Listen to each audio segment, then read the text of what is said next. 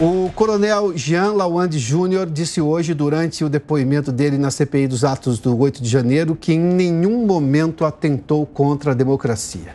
O militar é investigado porque teria trocado mensagens de cunho golpista, segundo o entendimento de parte dessa CPMI com Mauro Cid.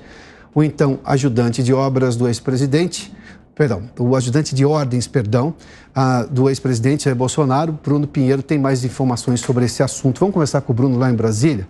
É, Bruno, seja bem-vindo. Boa tarde a você. Esse depoimento do coronel chama atenção porque ele nega textualmente que tinha qualquer intenção para usar essa expressão golpista e ele está deixando isso muito claro, que a troca de mensagens é um fato, mas a intenção de se, digamos, planejar algo e ficou muito distante do que ele, pelo menos, disse aí nessa CPI. E ele rebate justamente as informações que ele enviou e no intervalo entre 11 a 15 minutos ele apagava essas mensagens. A você uma ótima semana, sempre uma alegria, uma honra e uma satisfação. Uma longa e importante oitiva de Jean Lawande Júnior, que atuou ali nas Forças Armadas, que tinha essa função lá no Exército, na região onde aquele acampamento acontecia após as o resultado do segundo turno das eleições em 2022. O que ele respondeu aqui hoje, que as conversas é como ele realiza uma, uma conversa com qualquer outra pessoa, envia e exclui as mensagens, já que não tinha nenhum interesse, nenhum golpe de Estado. A gente relembra que logo após o segundo turno, o ex-presidente ficou em silêncio. As rodovias ficaram interditadas e as movimentações aumentaram na região de do Exército, inclusive aqui um número alto no acampamento na frente do quartel-general. O que ele respondeu, Jean Lawande respondeu aqui hoje é que Jair Bolsonaro não tem nenhuma ligação com esse eventual planejamento de golpe de Estado. Vamos rever o que ele respondeu durante a CPMI. Não atribuo ao presidente Bolsonaro esses atentados. O que eu atribuo ao presidente Bolsonaro é que uma palavra dele, a capacidade que ele tinha de liderança sobre a nação, uma palavra dele, uma manifestação dele faria com que aquelas pessoas que tivessem nas ruas há muito tempo fora de casa, em situações precárias, retornassem aos seus lares e continuassem suas vidas. Eu não posso dizer que um fato isolado ou outro aconteceu devido à não manifestação do presidente. Isso eu estaria conjecturando. Ele enviou diversas mensagens ao ex-ajudante de ordens de Bolsonaro, que ainda será ouvido na mesma CPMI, e já na reta final ele enviou é, alegando que era necessário um convencimento que Jair Bolsonaro ele tinha que fazer alguma coisa. Aqui na CPMI, Jean Lawande disse que nunca chegou a falar em um golpe de Estado. Vamos rever este momento. Não houve golpe, nenhuma tentativa de golpe. Eu volto a afirmar, quero frisar bem para o senhor isso aí, por favor, quero que entendam.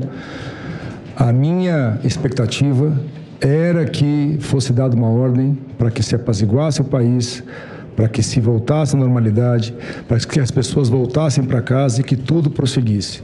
Em nenhum momento eu disse que haveria uma tentativa de golpe, de quebra das instituições democráticas, alguma coisa nesse sentido, em nenhum momento.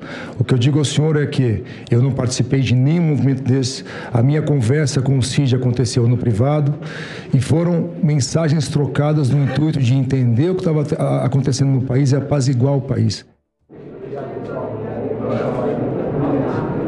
Essa reunião ainda não acabou, está acontecendo. A gente relembra que essas informações, que todas essas conversas, elas acabaram sendo localizadas após uma operação da Polícia Federal que tinha como objetivo essa adulteração no comprovante de vacinação. Adalberto Piotr. Muito obrigado uh, ao Bruno lá. Vamos lá, só para fazer uma referência a esse fato que é, é importante a gente citar. Uh, em algum momento, alguém que conhece a estrutura da lógica brasileira realmente, estou falando de boa fé, estou falando de honestidade intelectual, acreditou no rompimento da lógica democrática que se tinha até então? ou que o presidente reconhecido pelo TSE como vencedor da eleição, no caso o presidente Lula, não tomaria posse. Imaginou-se que, por exemplo, as Forças Armadas eh, realmente abririam a possibilidade para um golpe de Estado? Porque as pessoas ficaram ali na frente dos quartéis ah, por meses, desde o período final da, da, do segundo turno. É, se isso era para ter acontecido, poderia ter acontecido em qualquer um desses momentos. As Forças Armadas permitiam que as pessoas ficassem lá, na frente dos quartéis, das instalações militares, e ponto. Mas não se tinha manifestação clara. Ah, e outro, qual era o perfil daquelas pessoas ah, que estavam lá? Qual era exatamente esse perfil? Eram guerrilheiros? Enfim, a maior parte ali era de pessoas que tinham uma ideia sobre uma determinada, uh, um determinado uh, artigo constitucional que aquilo poderia dá o fato de que as Forças Armadas poderiam ser, digamos, aquele poder moderador, que é uma discussão jurídica que se tem no país, como qualquer outra discussão jurídica. E discussões jurídicas, você tem dois lados, três lados, as pessoas entendem de uma maneira, até que de repente vai lá, tudo para no Supremo Tribunal Federal, que é o guardião da Constituição, ele interpreta aquele entendimento que se tem na Constituição e passa a ser o ponto pacificado sobre aquela lei. Daí a gente vê essas narrativas sobre tentativa de golpe, possibilidade de golpe, enfim, mas o que de concreto realmente poderia levar a isso? É, porque senão a gente vai começar a perder a fé na lógica da democracia brasileira, que sim é jovem, ela vem dos anos 80, né? Eu nasci nos anos 70, cresci nos anos 80, tive o privilégio de ver tudo isso se formar. A Constituição de 88 deixou isso muito claro, enfim, e foi uma Constituição que hoje é questionada por vários aspectos, mas enfim, ela está aí. É, tudo isso aconteceu, mas como é que uma narrativa se sobrepõe a fatos? Quais são os fatos? Os fatos é que as pessoas estavam lá que não tinham potencial para fazer. Nenhum comandante do Exército, da, da Marinha, da Aeronáutica se, se deixou claramente, publicamente, que teria esse objetivo. Nem tampouco o presidente, então, naquele momento, fez esse aceno claramente. Daí que discussões, interpretações equivocadas não sobre artigos constitucionais fazem parte da lógica democrática.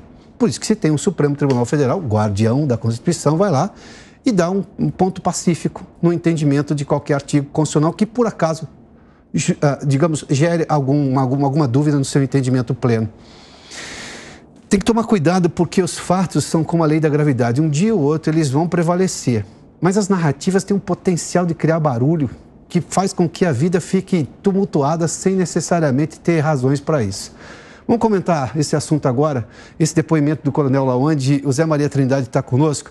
Ô Zé, seja bem-vindo. Boa tarde a você. Eu fiz menção só à questão das narrativas que ganham um espaço gigantesco, até por interesses político-partidários de um lado, enfim. Mas os fatos são os fatos e a gente não viu nada. Do ponto de vista lógico, a gente não viu nada do que realmente poderia ensejar qualquer, digamos, golpe de Estado até o momento. A CPMI está investigando todos os fatos, mas enfim, tudo que está, pelo menos, sendo trazido a ela. Bem-vindo, Zé. Olha, essas narrativas servem para sustentar um relatório que já está pronto na cabeça da relatora, a senadora Lisiane, viu? Muito boa tarde, Pioto. Boa tarde a você que nos acompanha sempre aqui nesta, neste giro importante de notícias.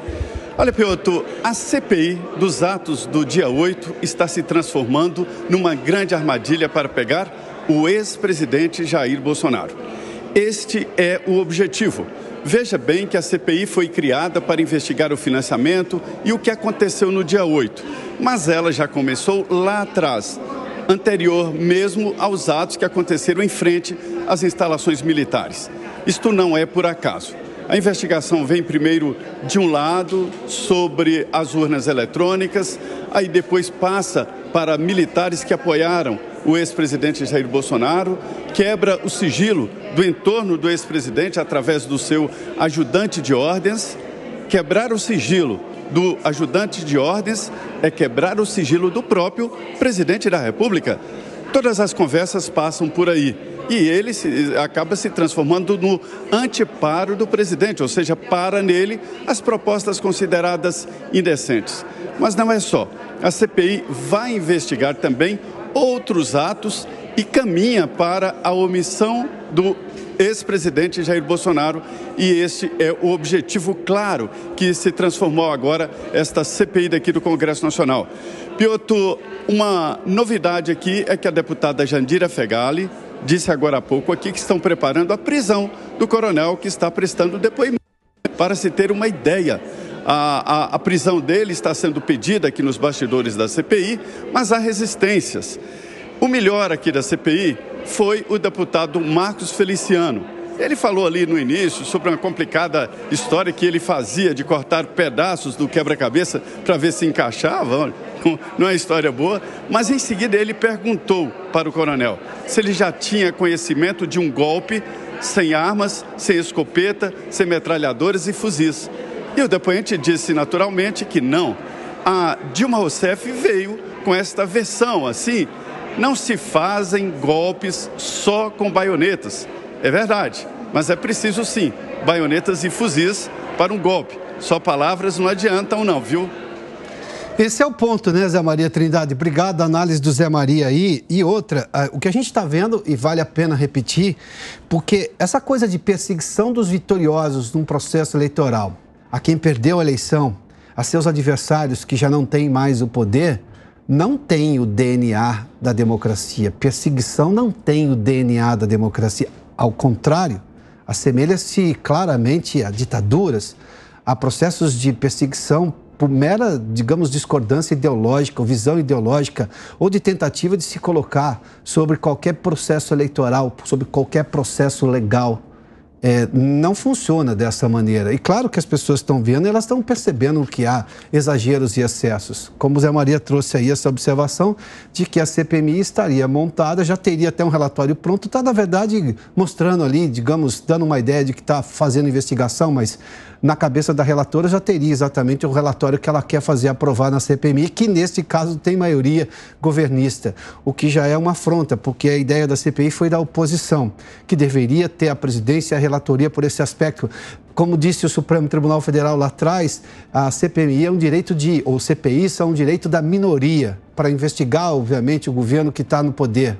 Neste caso, o governo está controlando a CPI mista do, dos atos do dia 8 de janeiro.